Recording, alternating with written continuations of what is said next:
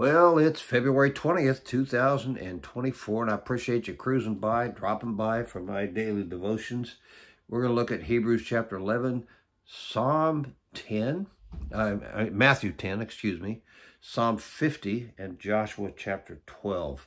And, uh, you know, yesterday we read the 10th chapter of Hebrews, and verses 5 through 7 say this. Therefore, when Christ came into the world, when Messiah came into the world, okay, sacrifice, and he quotes Psalm 40, verses 6 through 8. Sacrifice and offering you did not desire, but a body you prepared for me. Who do, who do you prepare a body for? Prepared a body for Jesus to sacrifice. He didn't want a bunch of sacrificial lambs and, and uh, animals. He prepared a body for Jesus to sacrifice. With burnt offerings and sin offerings, you were not pleased. The old covenant offerings didn't do the trick. Then I said, this is Jesus talking to God the Father, okay? Then I said, here I am. It is written about me in the scroll. I have come to do your will, O God. God sent Jesus on a mission to do his will. What was it? To die as the sacrificial lamb to pay for our sin. And he pulled it off. He did it. And it, it is done and we are saved by the wonderful grace of Jesus. Wow. I am moved. I imagine you are too. Thank you, Jesus. Let's take a minute and pray. Father, speak to us today. Thank you so much for the wonderful grace of Jesus, for the blood of Christ who was who gave himself to save us from our sin. Thank you for that, Father. Thank you for the wonderful grace of Jesus. I pray that you'd speak to us today. Write new law in our heart, Father. Help us hear from you and be changed from the inside out by the power and the truth of your word. For we pray it in Jesus' name. Amen. The 11th chapter of the book of Hebrews. 13 chapters in Hebrews. We're sliding into the end here. Great, great book. Great book. Now, faith is being sure of what we hope for and certain of what we do not see. This is what the ancients were commended for. By faith, we understand that the universe was formed by God's command so that what is seen was not made out of what was visible. By faith, Abel offered God a better sacrifice than Cain did. By faith, he was commended as a righteous man when God spoke well of his offerings. And by faith, he still speaks even though he's dead. By faith, Enoch was taken from this life so that he did not experience death. He could not be found because God had taken him away and but for before he was taken, he was commended as one who pleased God. And without faith, it is impossible to please God. Because anyone who comes to him must believe that he exists and that he rewards those who earnestly seek him. By faith, Noah, when warned about things not yet seen, in holy fear, built an ark to save his family. By his faith, he condemned the world and became heir of the righteousness that comes by faith. By faith, Abraham, when called to go to a place he would later receive as an inheritance, obeyed and went, even though he did not know where he was going. By faith, he made his home in, a, in, the, in the promised land, like a stranger in a foreign country. He lived in tents, as did Isaac and, and Jacob, who were his heirs uh, with him of the same promise. For he was looking forward to the city with foundations, whose architect and builder is God. By faith, Abraham, even though he was past age, in fact, he was 100 when his son was born, and Sarah herself was barren, was enabled to become a father because he considered him faithful who had made the promise. And so from this one man, and he as good as dead, came descendants as numerous as the stars in the sky and as countless as the sand on the seashore. All these people were still living by faith when they died. They did not receive the things promised. They only saw them and welcomed them from a distance and they admitted that they were aliens and strangers on, on earth. People who say such things show that they are looking for a country of their own. If they had been thinking of the country they had left, they would have had the they would have had the opportunity to return. Instead, they were longing for a better country, a heavenly one. Therefore, God is not ashamed to be called their God, and he has prepared a city for them. By faith, Abraham, when God tested him, offered Isaac as a sacrifice. He who had received the promises was about to sacrifice his one and only son. And even though God had said to him, It is through Isaac that your descendant, that your offspring will be reckoned, Abraham reasoned that God could raise the dead, and figuratively speaking, he did not receive, he did receive Isaac back from the death, from the dead, from death. Finally got it right. By faith, Isaac blessed Jacob and Esau in regard to their future. By faith, Jacob, when he was dying, blessed each of Joseph's sons and worshipped as he leaned on the top of his staff. By faith, Joseph, when his end was near, spoke about the exodus of the Israelites from Egypt and gave instructions about his bones. By faith, Moses' parents hid him for three months after he was born because they saw that he was no ordinary child and they were not afraid of the king's edict. By faith, Moses, when he had grown up, refused to be known as Pharaoh's son, eh, as, as the son of Pharaoh's daughter. He chose to be mistreated along with the people of God rather than to enjoy the pleasures of sin for a short time. And listen to this. This is, what, a couple thousand years before Jesus came.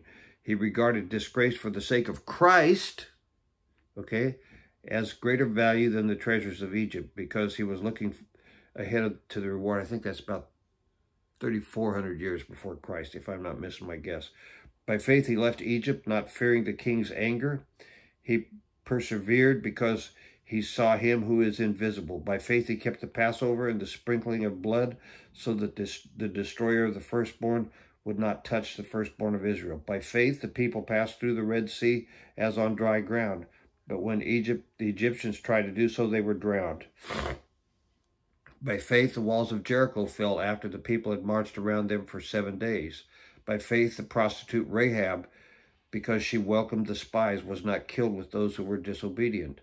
And what more shall I say? I do not have time to talk about Gideon, Barak, Samson, Jephthah, David, Samuel, and the prophets, who through faith conquered kingdoms and administered justice, gained what was promised, and who shut the mouths of lions, quenched the fury of the flames, and escaped the edge of the sword, whose weaknesses were turned to strength, and who became powerful in battle and routed foreign armies. Women received back their dead, raised to life again.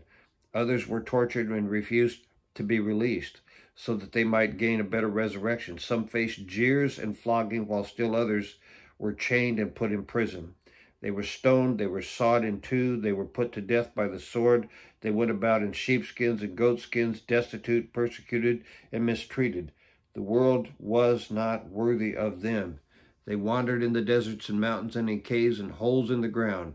These were all commended for their faith, yet none of them received what had been promised. God had planned something better for us so that only together with us would they be made perfect. That is a powerful, powerful chapter.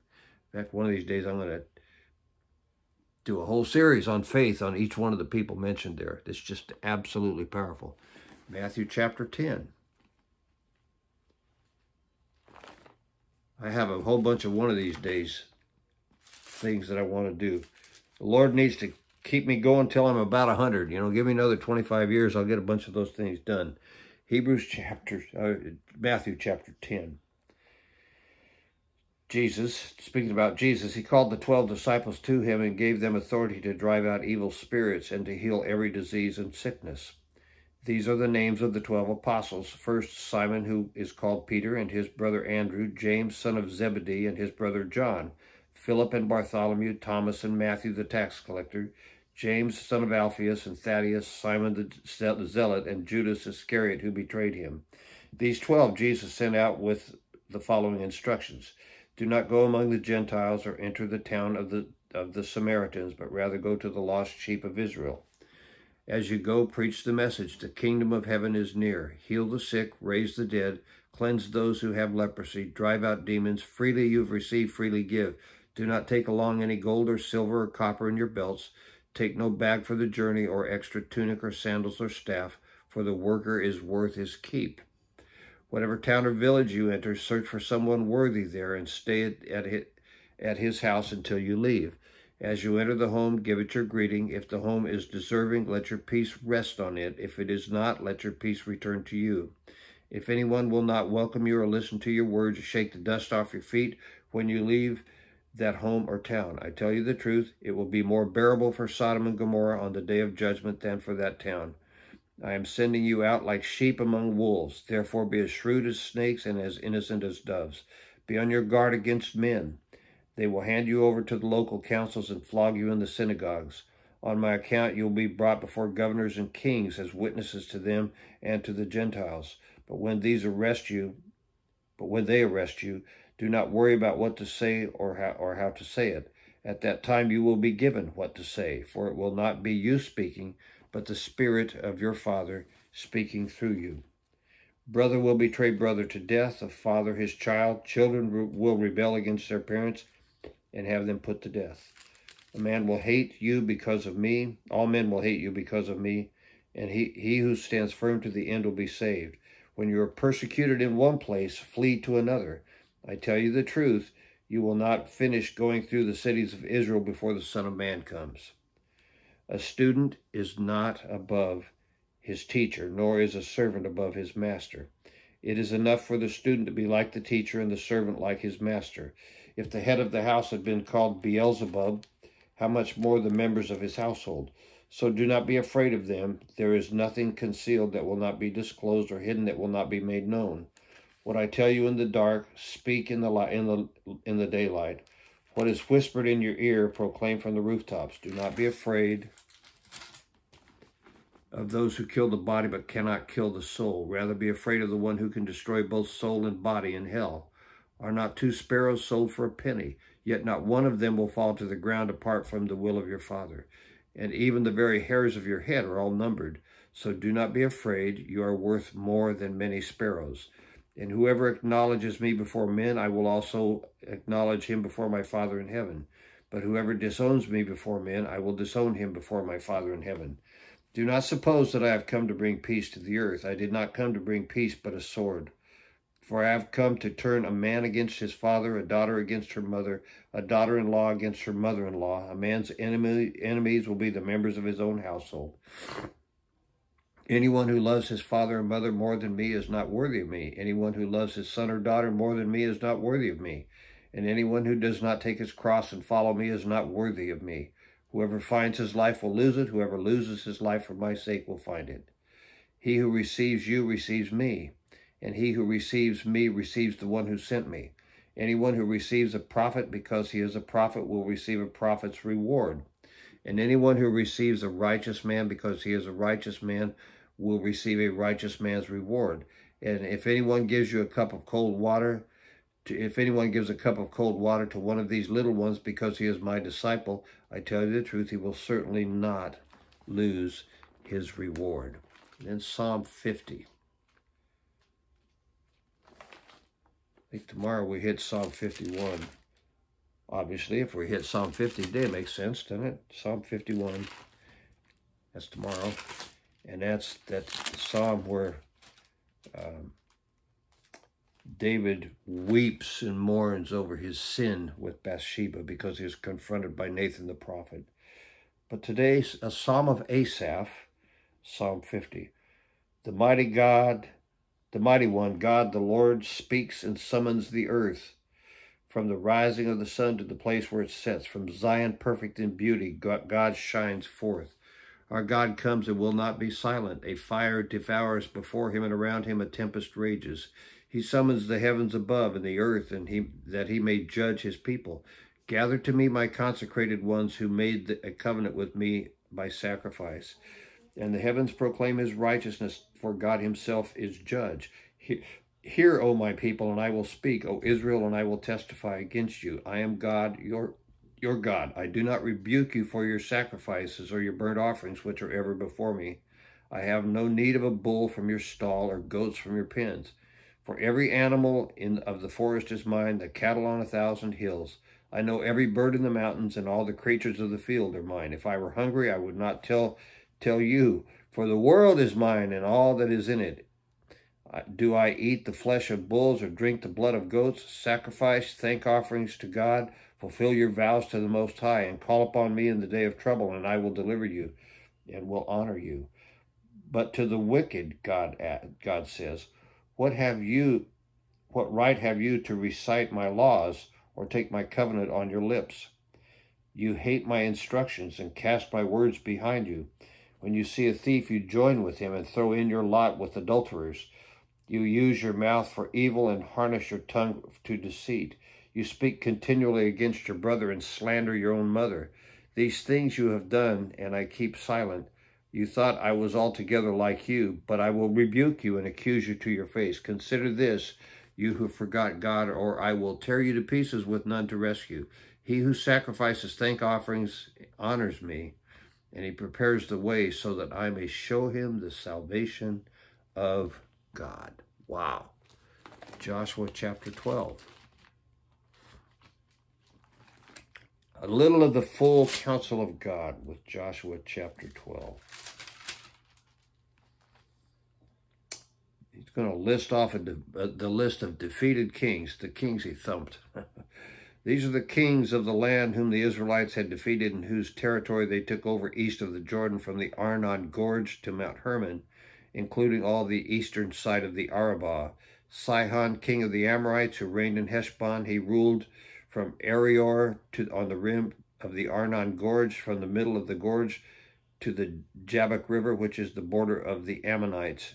This included half of Gilead. He also ruled over the eastern Arabah, from the Sea of Kinnereth to the Sea of the Arabah, the Salt Sea, to Beth Jeshimoth, and then southward below the slopes of Pisgah, and the territory of Og, king of Bashan, one of the last of the Rephaites, who reigned in Ashtaroth and Edrei. He ruled over Mount Hermon, Salecah, all of, all of Bashan, to the border of the people of Geshur, and Maacah, half of Gilead, to the border of Sihon, king of Heshbon. Moses, the servant of the Lord, and the Israelites conquered them. And Moses, the servant of the Lord, gave their land to the Reubenites, the Gadites, the half-tribe of Manasseh, to be their possession. These are the kings of the land that Joshua and the Israelites conquered on the west side of the Jordan from Baal Gad in the valley of Lebanon to Mount Halak, which rises uh, towards Seir, the land Joshua gave as an inheritance to the tribes of Israel according to their tribal divisions. The hill country, the western foothills, the Arabah, the mountain slopes, the desert, and the Negev, the lands of the Hittites, Amorites, Canaanites, Perizzites, Hivites, and Jebusites. The king of Jericho won, the king of Ai near Bethel won, the king of Jerusalem won, the king of Hebron won, the king of Jarmuth won, the king of Lachish won, the king of Eglon won, the king of Gezer won, the king of Debir won, the king of Geder won, the king of Hormah won, the king of Ara Arad won, the king of Libnah won, the king of Adullam won, the king of Makkedah won, the king of Bethel won, the king of Tappuah won, the king of Hepher won, the king of Aphek won, the king of Lasharon won, the king of Madon won, the king of Hazor won, the king of Shimron Meron won, the king of Aksaph won, the king of Taanach won, the king of Megiddo won, the king of Kedesh won, the king of Jokneam in Carmel won, the king of Dor in Naphath Dor won, the king of Goyim in Gilgal won, the king of Tirzah, 31 king, oh, king, king, king of Tirzah won, 31 kings in all. Defeated all those kings. God is good. He spoke. He's spoken. Let's pray. Father, thanks for speaking to us today. I pray that we cut the whole counsel of God. And I pray that you'd change us from the inside out by the truth you wrote on our hearts today. Help us flesh it out and live it. I pray in Jesus' name. Amen. A great day.